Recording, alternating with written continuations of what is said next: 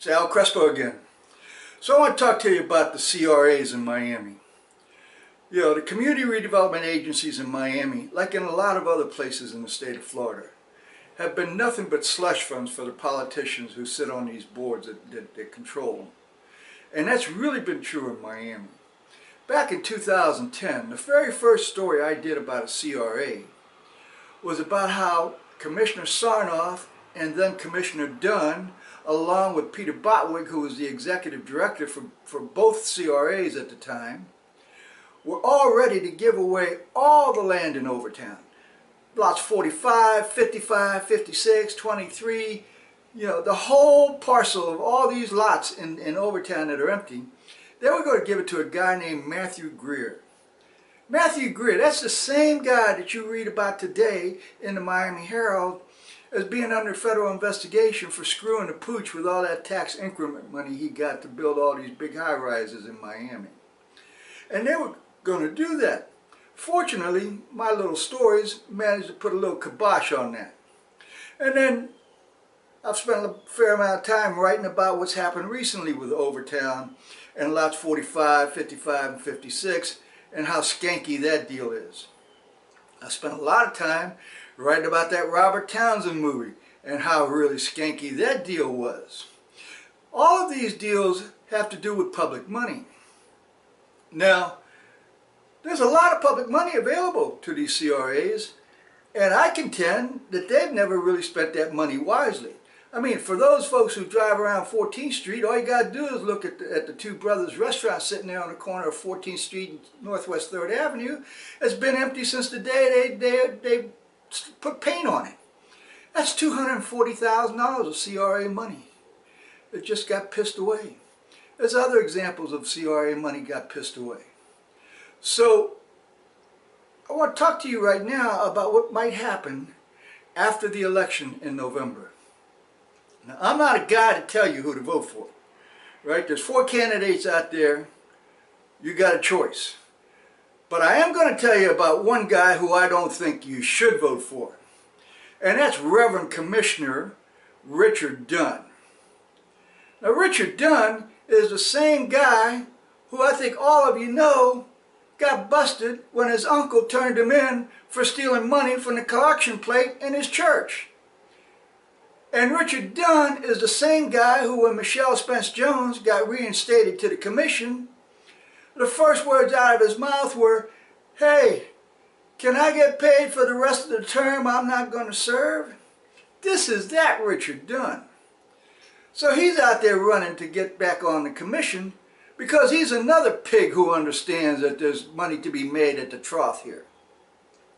And the person who's supporting him the most is none other than Commissioner Sarnoff. Commissioner Sarnoff held a big fundraiser for him at his law firm.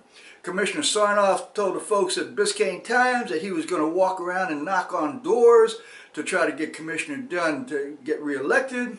Well, there's a reason why Commissioner Sarnoff is doing all this.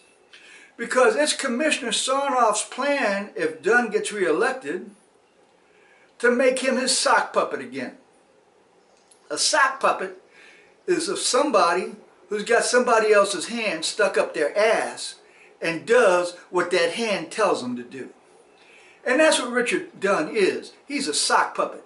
He's had Regalado's hand up his ass, he's had Sarnoff's hand up his ass, and the whole time he was a city commissioner, he did what they told him to do. And what Sarnoff wants Richard Dunn to do if he gets elected is to agree to allow the Southeast Overtown Park West CRA to be folded back in with the Omni CRA so that Peter Bockweg can become the executive director of both of those organizations again. And you know what a great job he, Peter Bockweg did the last time he was the executive director of those organizations. Yeah, he was the one who was trying to give Matthew Greer all that money. And the reason why Sarnoff wants to do this is because if we know, so we've learned one thing from about Sarnoff, is that when it comes to money, boy, he's the biggest pig in the trough, right?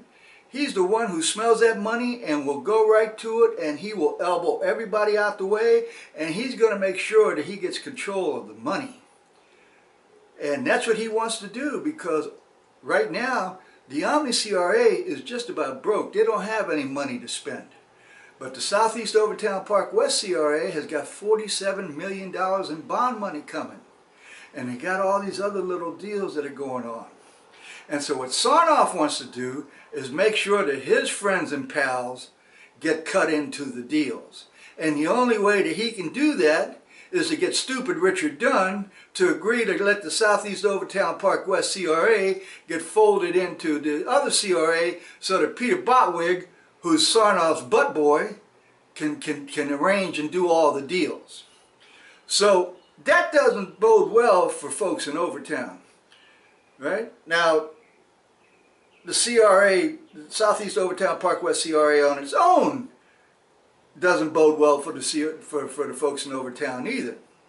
Unless you all try to think about who you're going to vote for and try to get somebody in there who's not going to sell the farm out the first day they walk in the door. Right? That money shoulda, coulda, woulda been spent on things that benefited you folks, and it hasn't been. It's been spent on benefits for the people who got the money, and it didn't benefit you all. So I, like I say, I can't tell you who to vote for, but if you all vote for Richard Dunn, and he turns around and lets Mr. Sarnoff take that CRA back and do whatever he wants to, you all are going to get screwed really, really bad. And at that point, don't come to me and say, hey, Al, you know, you only God stands up for us and writes all that stuff. Because I'm just telling you this in the video. You know, that's the best I can do, folks. I can't run for office in District 5. If I could, I'd run for city commissioner and see what I could do, but I can't do that. So please, for your sake, see what you can do. Think about who you're going to vote for. But don't vote for Richard Dunn because he's just bad news. Thank you.